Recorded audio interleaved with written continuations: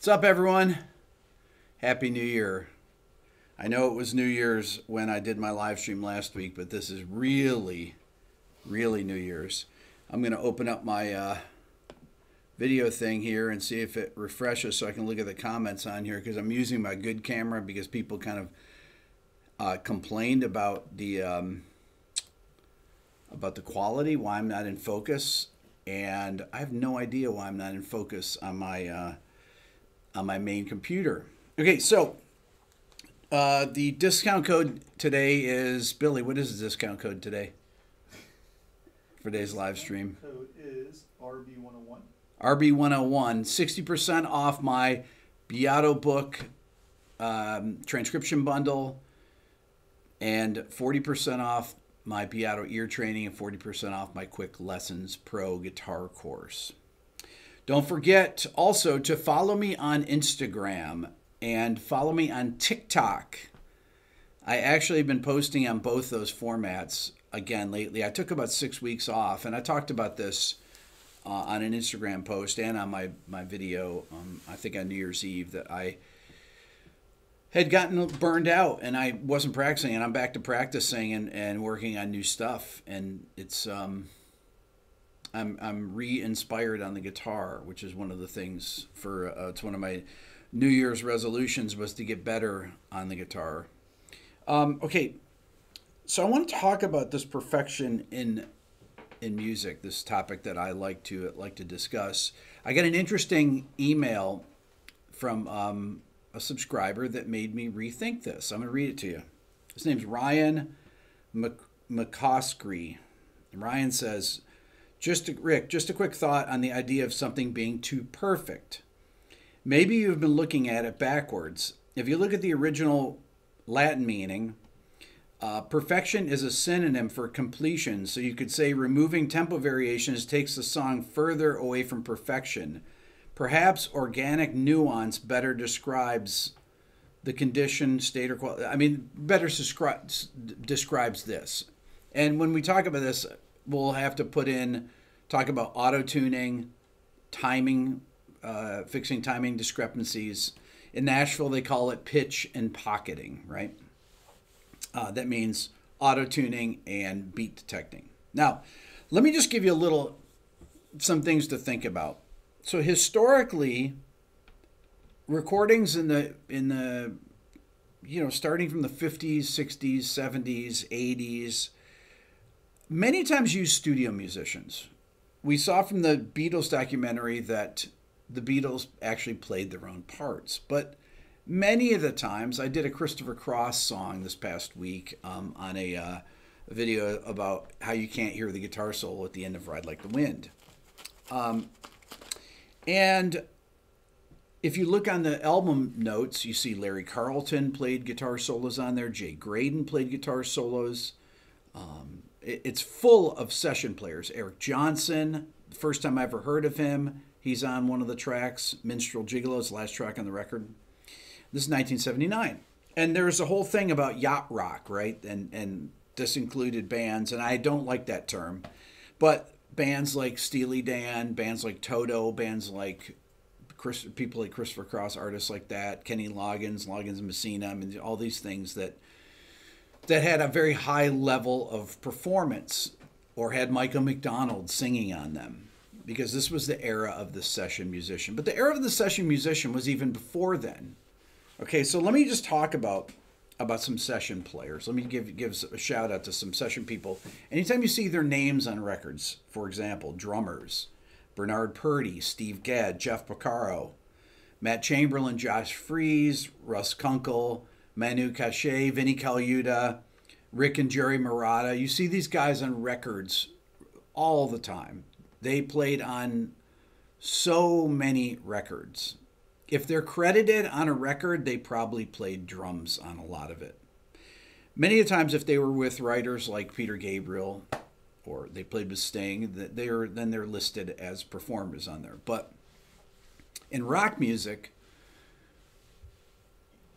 around um, it, it was kind of taboo to, to have session drummers. They always wanted to give the impression that it was the people in the band playing the instruments. I mean, Nirvana was Dave Grohl playing the drums, and Soundgarden had Matt Cameron playing the drums because these guys were phenomenal players. Okay, I'm, ta- I'm not talking about other instruments, but let me talk about bass players, session bass players. Carol Kaye, right? Um, Chuck Rainey, James Jamerson. These people were on thousands of recordings, and, and there's many, many other great session bass players or, or guitar players, session guitar players. Many of these people have been on my channel. Larry Carlton, Tim Pierce, Steve Lukather, Dean Parks, Jay Graydon. These people are on thousands of records, right? And why did they get hired? They got hired because you didn't have Pro Tools back then to fix parts. So one of the things that, that happened, Lee Sklar, Lee Sklar is on as many recordings.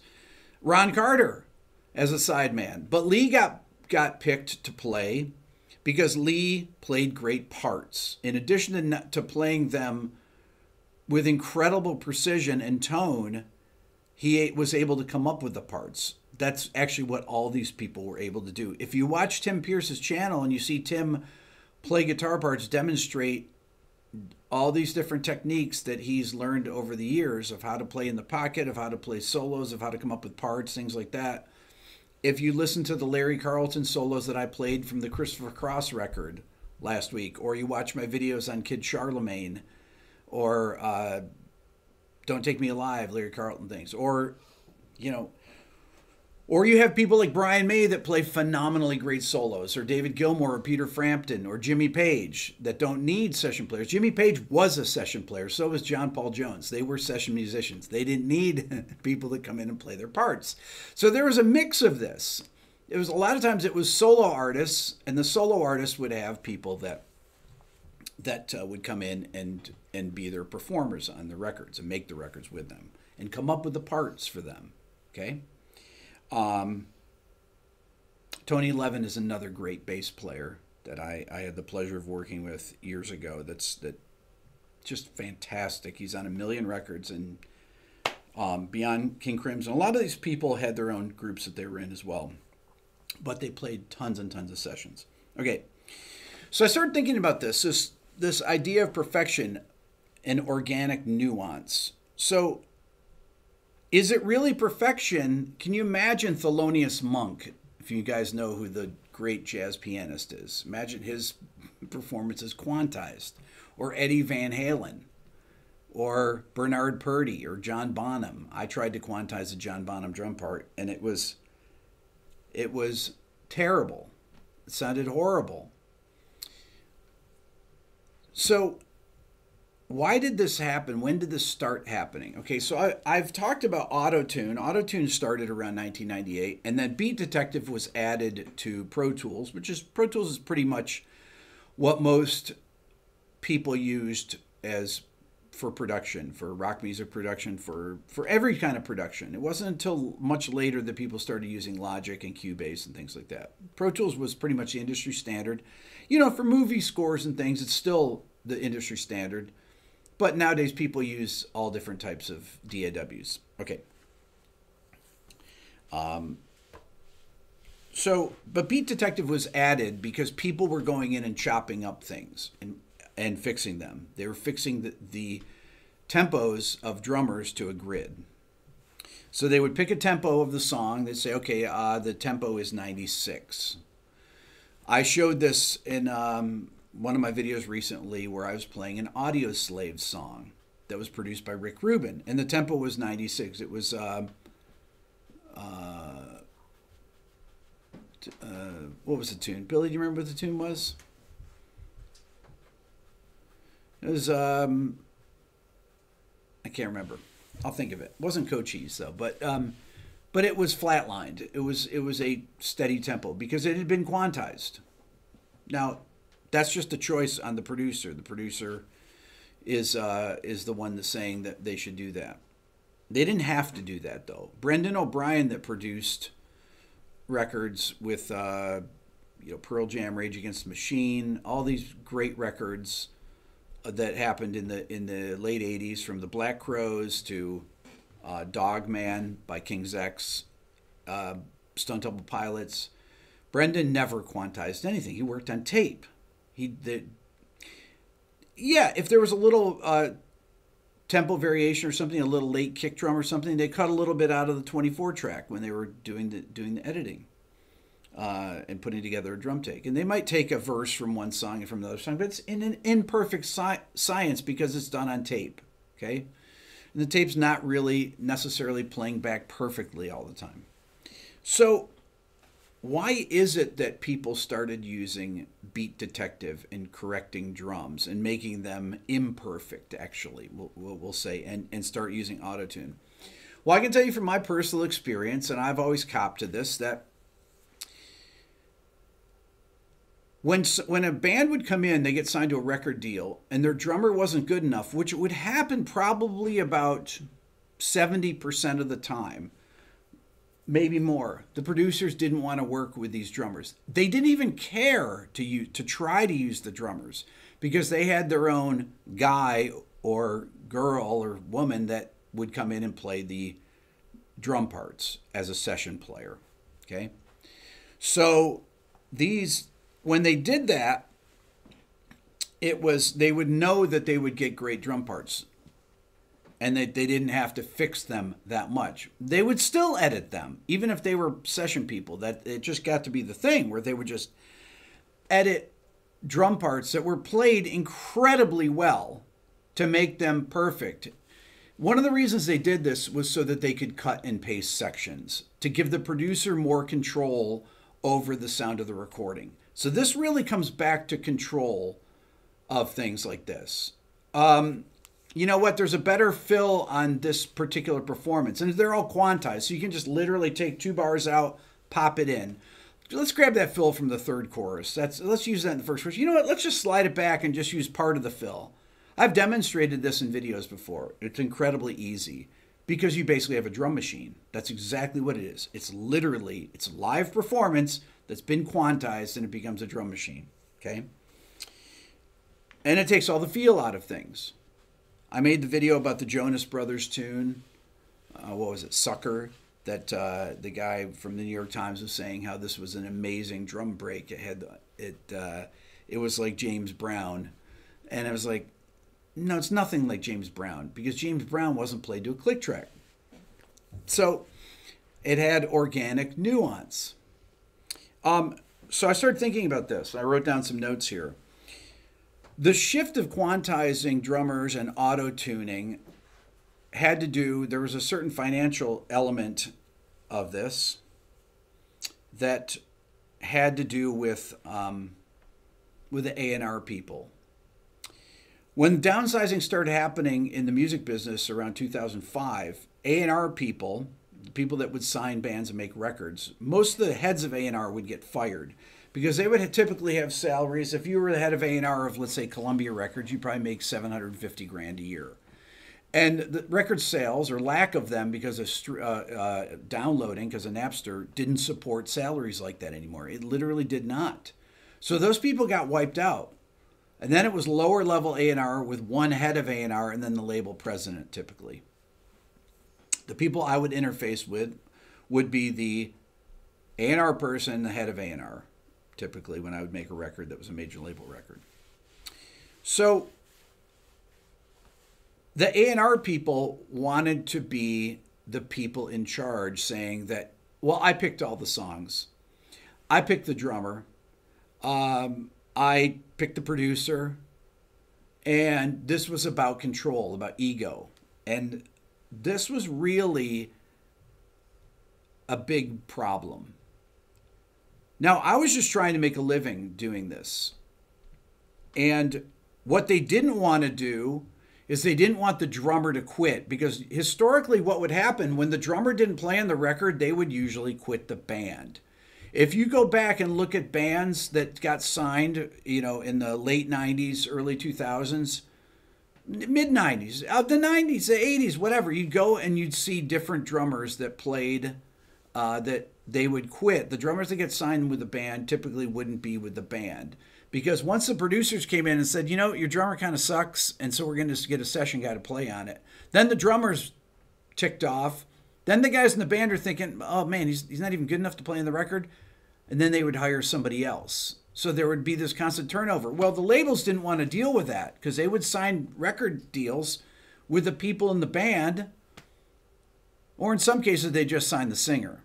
And there's bands that I've worked with that uh, that only had a singer, even though they, they looked like they were a band. And I've talked about these bands on here.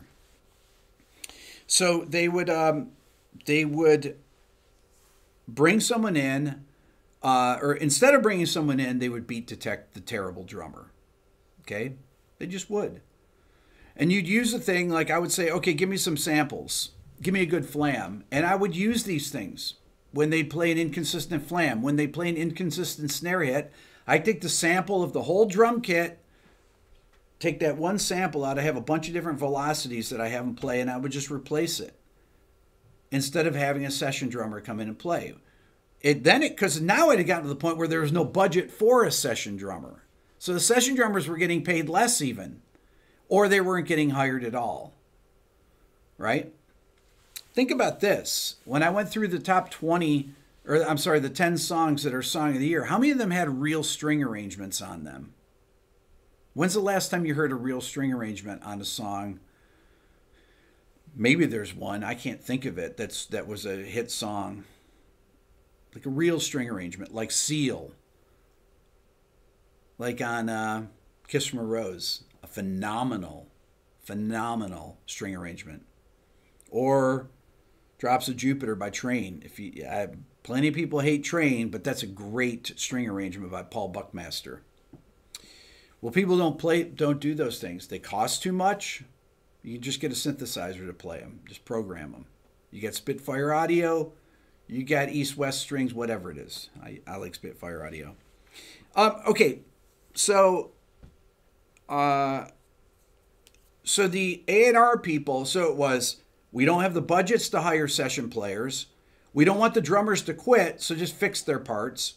We want the producer to be able to play parts as much as possible and fix the, the people's things. So when I'm making a record, if the guitar player can't play consistently and can't play with his guitar in tune, I have to fix it. I mean, that was just the thing because I'm getting paid to make a great record because the label's paying me and the band's paying me. But there's a there's a thing there. It's like the band has to be like the record that they make which is why I this was the worst part of it for me. And I would try to teach the groups to play better, to play in time, to play consistently, and to play in tune. Okay? This is why uh, I think a lot of rock music became fell out of favor. As you start quantizing and auto tuning things, there you start losing all the nuances, blues notes, Think of all the bluesy nu metal songs there are. You can keep thinking because there are none. there's none. There are no blues notes. There's no BB Kings. You know, there's no blues singing in nu metal. And pretty much all nu metal is quantized. It is. Pretty much all metal that you hear on these Spotify top 10 or countdowns that I've done and rock bands that I've done over the past year and a half or so it's all quantized. It is. It's become the natural state of things. Have I fixed drums? Of course I've fixed drums millions of times. I've done it myself. This is my payback here is to teach people on this channel for to to uh, atone for my the sins of of doing things like that and adding to the to this kind of stuff. Um, it's nothing that I really liked, but I did it pretty much like most people did um, because that was my job and it had to sound good.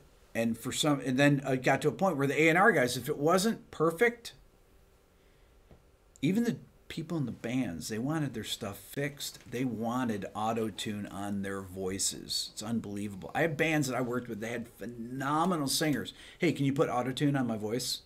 And there's a plug-in. You just do it live. You just put the plug-in on auto on, on the track, tune it to the key of the song, and there it does. And and then when it get to words where you could hear it, you just turn it off for a second, you turn it back on, or then you go in and spot fix it or whatever, you know. Or you take out Melodyne And Melodyne's a program where you feed the whole thing in. Well, you can do that with AutoTune now. You feed the whole part in there, and uh, and then you fix it. And you fix the timing, and you fix the pitch of it, along to a grid that you can see. I've made videos about all this stuff. Um, I um, I'm going to mention my sale one more since I don't ever do ads on my channel. I'm I'm gonna, here's my ad. If you want to support the channel and become a better musician, check out my Beato book um, bundle. It, uh, that's 700 page PDF, 60% off with the discount code RB101. If you want to get a, develop a better ear so you can hear when things are out of tune, uh, check out my Beato ear training. And if you want to improve your guitar skills and um, and get new ideas for playing, check out my Beato um, Quick Lessons Pro guitar course. Okay. So, those are ways that you improve yourself as a musician and you can support the channel. Because this is the whole thing here is to teach people how to teach themselves ultimately, right? Okay, so so I told you I've been posting on TikTok, and one of the people that I follow on TikTok is Charlie Puth. Now, Charlie Puth is a pop singer. I like Charlie Puth's TikTok because it's like a production TikTok. And one of the things that cracks me up about this is Charlie Puth has perfect pitch, and he heavily auto tunes his voice. So you, I wonder, like, why does Charlie Puth? And I, it doesn't bother me. I like the sound of it. Why does Charlie Puth auto tune his voice? Right? I mean, why? Why do you auto tune your voice if you have perfect pitch? Um, because he likes the sound of it. I mean, ultimately, why does he like the sound of it? Because it sounds like what pop records sound like nowadays. Because it's on everything.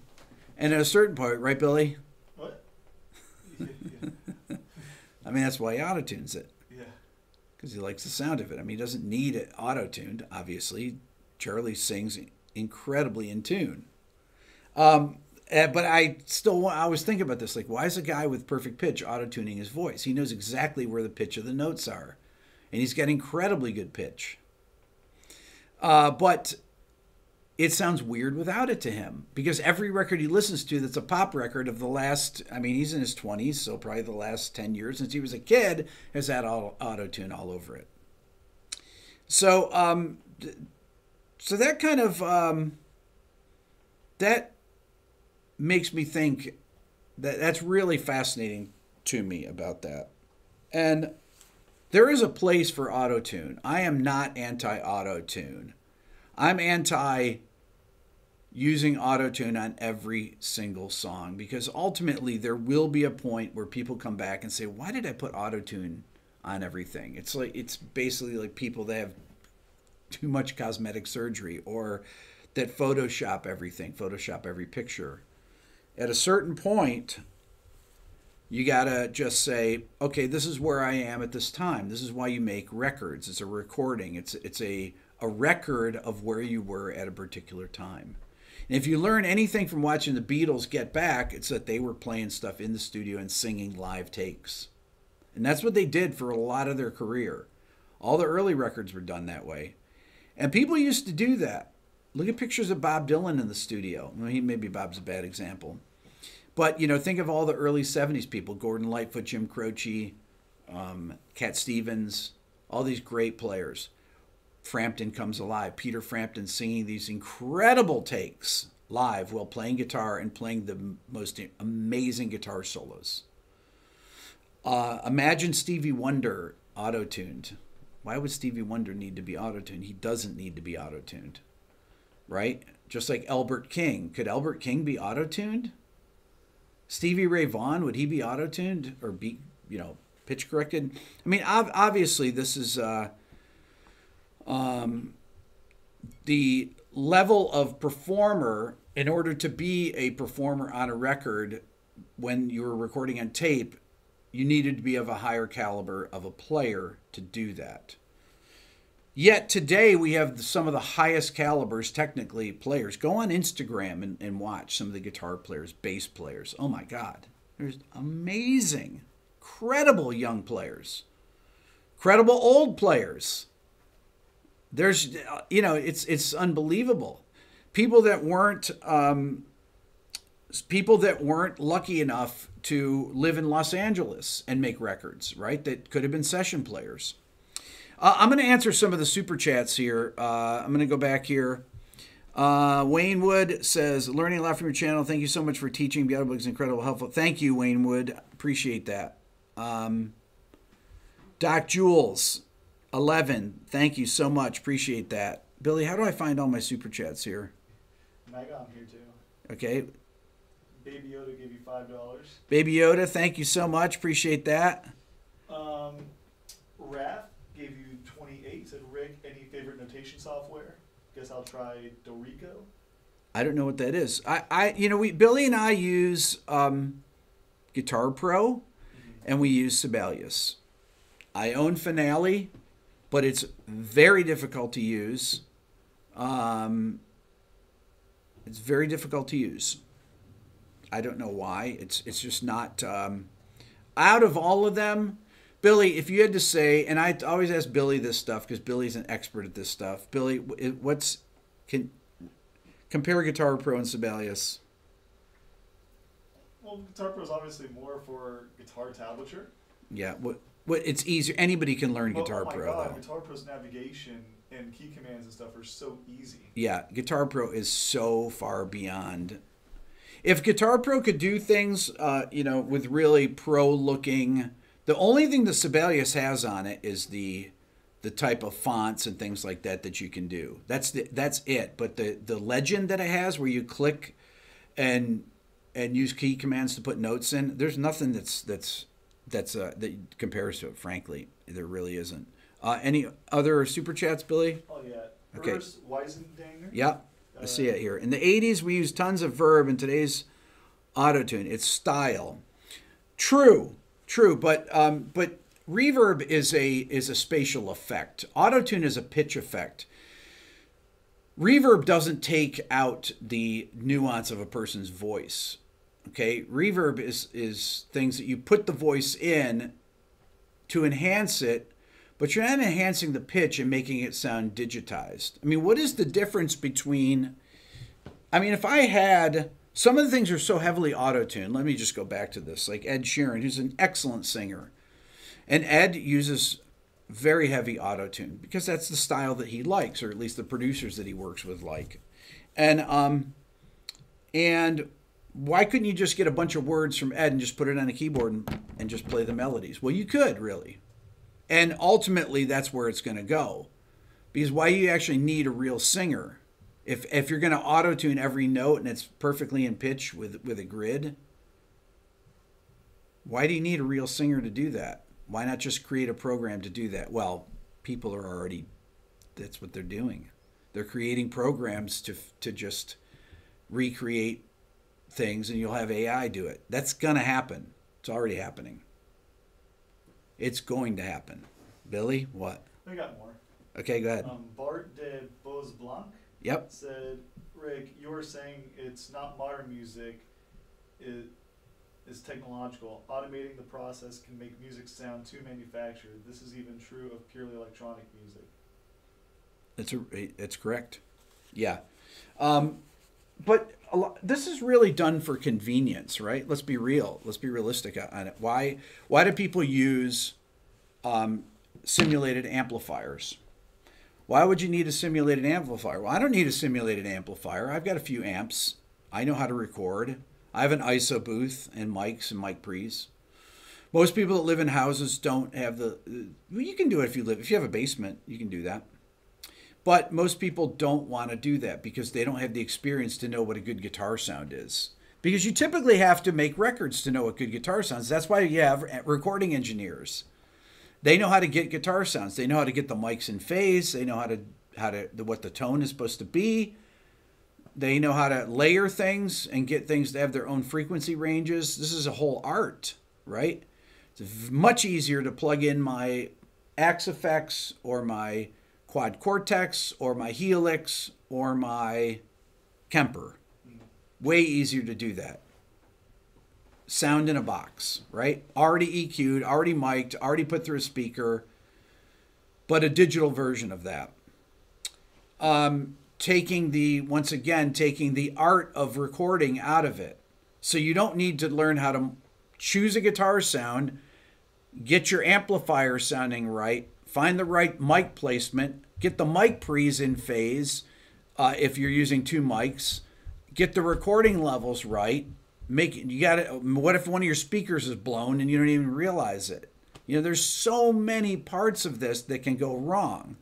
It's very easy. Just dial in your EVH three sound already has the modeled cabinet on it. Oh, you know what? I'd like to let me switch the cabinet. So let me use this IR thing, right? Very easy to do that. And what that does is you have all these people using the same algorithms, so they have the same sounds, essentially, right? They use the same algorithms. If, if you're using the same boxes, you're using the same algorithms. Now, if I open up an Axe-Fx, that's got, you can spend weeks programming a sound. But you could spend five minutes with your pedals just tweaking them. When I had Eric Johnson come to the studio here, I handed Eric some of the pedals that he uses. I have all these pedals. And he made up a little pedal board in five minutes. And I had two deluxes here. He plugged them in. I should have recorded him on camera, but it was so fast that he dialed up his tone. He just got his guitar out and was playing. Billy, you were here for that, right? Yeah like two minutes. We couldn't even turn the camera on fast enough. He's like, okay, that'll work. Mm-hmm. It was great. That's all he needed to do. Um, he knew what it what, what is what he wanted for his sound, and he did it. That's Eric Johnson. Eric Johnson is a genius, brilliant when it comes to sounds. Jimmy Page, right? These guys know. Jimmy Page produced every Zeppelin record. He knows the sounds that he wanted to hear. It's also his 78th birthday today. Jimmy Page's 78th birthday. Happy birthday, Jimmy. I want to interview you one day, Jimmy. Mr. Page. that would be I could quit my channel then if that happened. Um I mean if I pretty much interviewed McCartney and Jimmy Page and David Gilmour and Jeff Beck and and uh, Clapton and uh, and I'm gonna interview Brian May um, in person. I, I have interviewed Brian, but if if I could interview all those people, I could pretty much just about hang up my channel. I want to interview. Uh, I want to interview people like Herbie Hancock too. I want to interview I want to interview. Uh, I mean, there's so many players that I want to interview. So many jazz players. I want to do the Ron, my Ron Carter interview in person. I interviewed Ron over Skype, but I really want to do one in person. I want to hear. I want to get. I've met Ron in person, uh, but I want to hear Ron's vibe in an interview where he has his bass. Um, Dr. Rob Allen, love your work and spirit. Keep it up, sir. Okay, so um, somebody said Paul Rodgers, Pete Townshend. I want to I want to interview all those people. There's just so many people I want to interview. Um, I just don't have the um, I don't have the connections to get to the people. I don't. I'm sorry. Subscribe to my channel. If you guys aren't subscribed, that actually helps. Okay, if I had 3 million subscribers uh, on my channel, I know it sounds ridiculous. And I don't really tell people to subscribe very often, but the that actually helps my when when publicists are looking at this and they're looking at my channel and they're trying to decide should Jimmy Page go and do an interview with this magazine or should he go on this YouTube channel with this white-haired dude? Well, that white-haired dude only has 2.7 million subscribers. If he had 3 million or 5 million, be like maybe we'll go there. So, Follow me on Instagram too, Rick Beato one and TikTok, if you guys are on TikTok. Okay, so once again, interview with Mark Knopfler. I'm seeing all these things on here, and I always go back through. I have a whole list of things. I want to interview James Hetfield. I want to interview all the, all my metal people that I love, all my metal musicians that I love, all my all the rockers. You know, I want to interview all the grunge people: Eddie Vedder, Dave Grohl, Matt Cameron, uh, everybody that's you know, Jerry Cantrell. I want to interview all those all those people, and and hopefully Neal Schon. I want to interview. I love Neil. Um, Slash and would be amazing. Bono and the Edge would be amazing. Mick and Keith would be amazing. We'll see if those can happen. Um, and I see Michael Stipe on there. Oh my God, I love REM. Massive fan of REM. Never met any of the guys.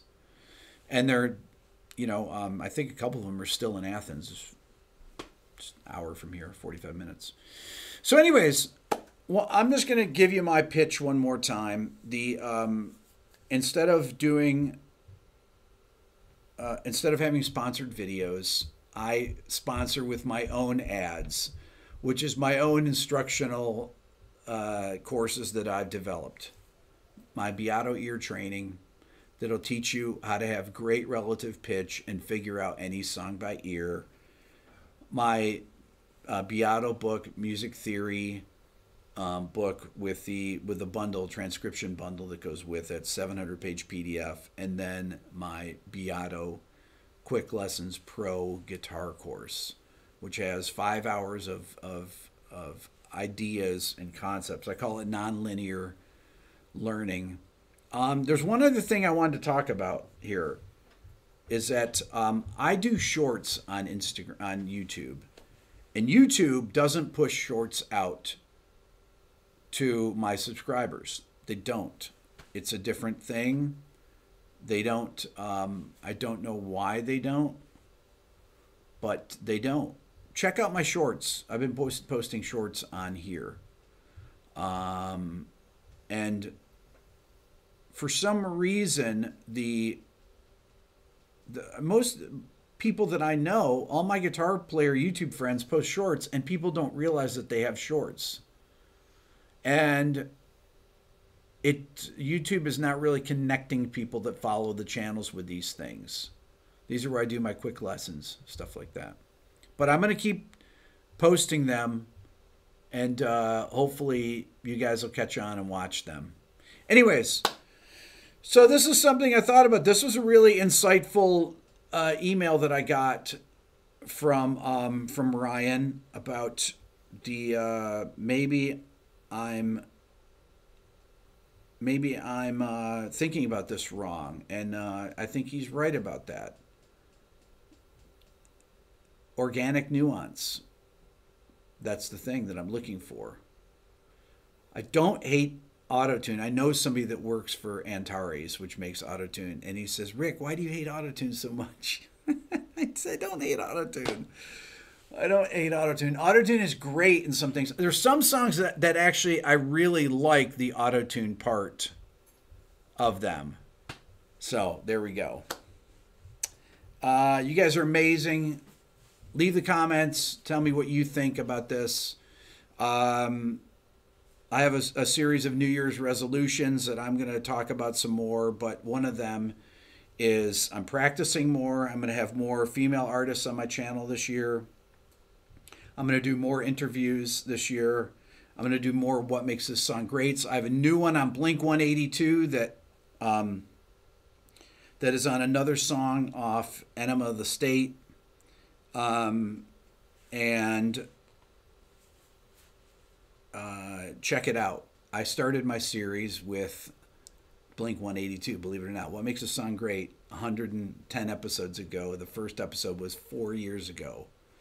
It was late January that I did it. So four years ago, next week or the week after, four year anniversary of what makes this song great. So I'm going to do more. I've done very few, and I've done very few lately because uh, it's it once again it's just difficult to to know what is gonna um, what is going to get blocked or not.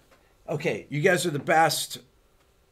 We'll uh, we'll see you next week. Okay, have a great, great, great week.